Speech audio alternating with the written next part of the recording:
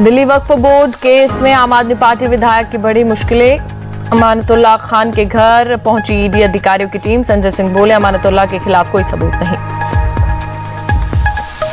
Rape हत्याकांड को लेकर आज से पश्चिम बंगाल विधानसभा का दो दिवसीय विशेष सत्र। रेप के दोषियों को मौत की सजा देने वाला बिल कल होगा पेश। रेप मर्डर के खिलाफ आज भी कोलकाता में छात्रों का प्रोटेस्ट।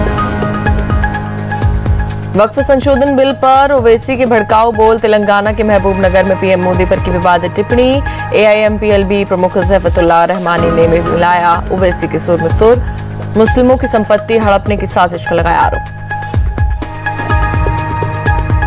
बीजेपी का देश भर में आज से फिर सदस्यता अभियान होगा शुरू।